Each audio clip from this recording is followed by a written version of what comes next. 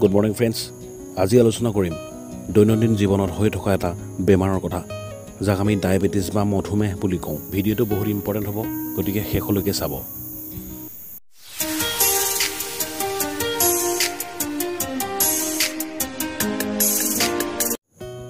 মানুহে কয় অধিক মিঠা খালে ডায়েবেটিছ হয় বুলি। একচুৱেলি শুদ্ধ কথা। ডায়েবেটিছৰ সঠিক কাৰণ প্ৰথমে আমি জানিব লাগিব। আমি যেতিয়া আহাৰ খাওঁ তেতিয়া পেটৰ ভিতৰত গৈ গ্লুক'জলৈ পৰিৱৰ্তন হয়। ই এক প্ৰকাৰৰ শৰ্কৰা আৰু ই আমাৰ শৰীৰৰ তেজৰ লগত মিলি লাখ লাখ কোষত সোমাই আমাৰ শৰীৰক শক্তি প্ৰদান কৰে।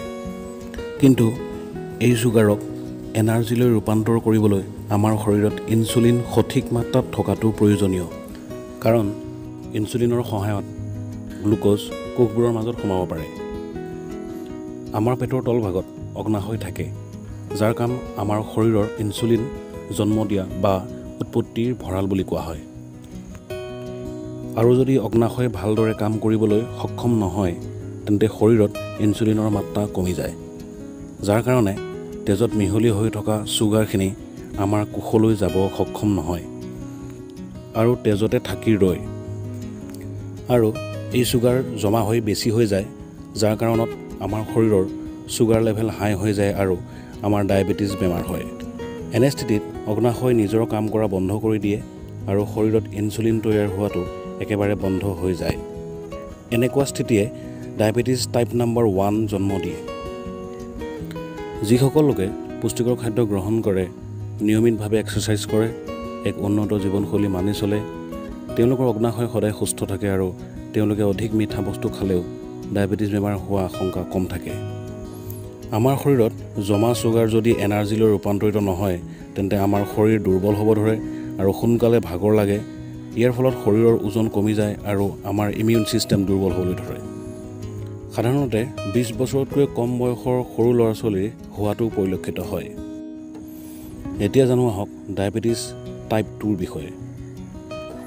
ডায়েবেটিছ টাইপ টু থকা মানৱ শৰীৰত ইনচুলিনৰ মাত্ৰা পৰ্যাপ্ত পৰিমাণে থাকে যদিও তেজত জমা হোৱা বেয়া কলেষ্ট্ৰল আমাৰ কোষবোৰৰ চাৰিওফালে এঠা লাগি ধৰে।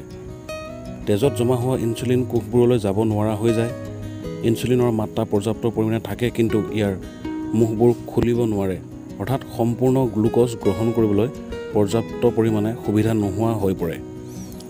সেইকাৰণে ইনচুলিন থাকে যদিও শৰীৰৰ কোনো কামত নহা হয়। আৰু যেতিয়া চুগাৰ লেভেল টেষ্ট কৰোঁ আমাৰ হাই হৈ থাকে। কাৰণ কোষবোৰে লৈ যাব নোৱাৰা হয়। ইয়াৰ পৰা বুজিব পাৰি যে ডায়েবেটিছৰ সম্পৰ্ক না কলেষ্ট্ৰলৰ লগত না চুগাৰৰ লগত আছে। এনে অৱস্থাই ডায়েবেটিছ টাইপ নম্বৰ টু জন্ম দিয়ে। প্ৰায় মানুহে বৰ্তমান এই ধৰণৰ ডায়েবেটিছত ভোগে আৰু ভুগি আছে। এতিয়া চাগে আপোনালোকে ভাবিছে ডায়েবেটিছৰ লগত কলেষ্ট্ৰলৰ কি সম্পৰ্ক আছে?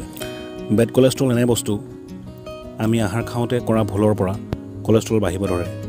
ই হ'ল এক প্ৰকাৰৰ এঠাজাতীয় লেতেৰা জুলীয়া পদাৰ্থ। যদি আপুনি সদায় এনেধৰণৰ তেলজাতীয় খাদ্য বেছিকৈ গ্ৰহণ কৰে তেন্তে শৰীৰত কলেষ্ট্ৰলৰ মাত্ৰা বাঢ়ি যায় আৰু আমাৰ তেজৰ লগত মিহলি হৈ যায় আৰু আমাৰ তেজ লেতেৰা হৈ পৰে। যাৰ পৰা তেজ চলাচল কৰা ৰাস্তাত বাধাৰ সৃষ্টি হয় আৰু ব্লকেজৰ সমস্যাই দেখা দিয়ে।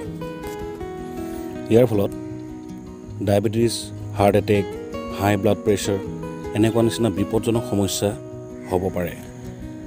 যিসকল লোকৰ চুগাৰ বা মধুমেহ ৰোগ হয় তেওঁলোকৰ যদি কিবা কাৰণত কটা চিঙা বা ঘাঁহ হয় তেন্তে সুস্থ ব্যক্তি এজনতকৈ ভাল হওঁতে বেছি সময় দৰকাৰ হয়। সোনকালে কটা চিঙা ঘাঁহ নুশুকায় ইয়াৰ কাৰণে ইনচুলিনৰ মাত্ৰা নিয়ন্ত্ৰণ কৰিবৰ কাৰণে ঔষধৰ সহায় ল'ব লগা হয়। কিন্তু আপুনি ইমান চিন্তা কৰাৰ দৰকাৰ নাই।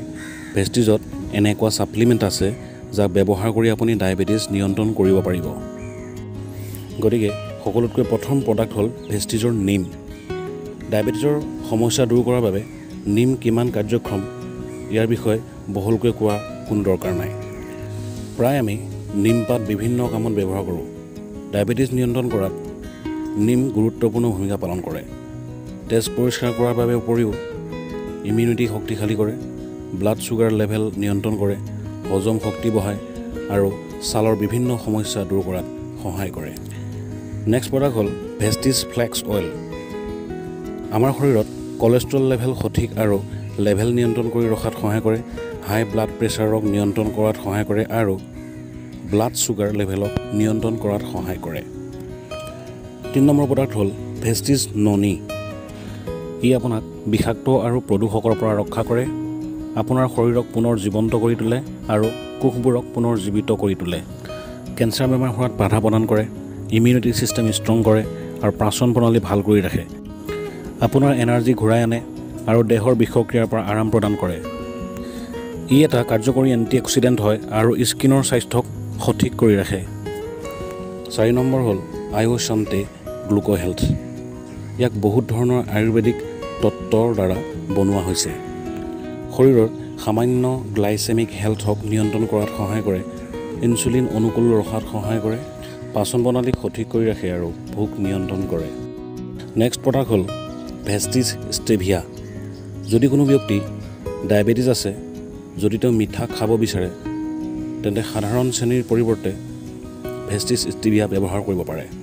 ইয়াত এশ শতাংশ নেচাৰেল চুগাৰ নেনো পাৰ্টিকলছ আছে। কেলৰিমুক্ত আৰু কাৰ্বহাইড্ৰেট মুক্ত হোৱাৰ লগতে নৰ্মেল শ্ৰেণীতকৈ এশৰ পৰা তিনিশ গুণ মিঠা বেছি পোৱা যায়। ভেষ্টিজ ফ্লেক্স অইল আৰু নিম গৰ্ভাৱস্থা কালচোৱাত বা তাৰ পিছত চিকিৎসকৰ পৰামৰ্শ মতে ব্যৱহাৰ কৰিব লাগে। ননি হ'ল পটাছিয়ামেৰে ভৰপূৰ কাৰণে কিডনীৰ সমস্যা থাকিলে ইয়াক ব্যৱহাৰ কৰিব নালাগে। ভেষ্টিজৰ সকলো প্ৰডাক্ট কোম্পানীৰ দ্বাৰা নিৰ্ধাৰিত কৰি দিয়া হয় গতিকে ব্যৱহাৰ কৰোঁতে চিকিৎসকৰ পৰামৰ্শ মতে ব্যৱহাৰ কৰিব।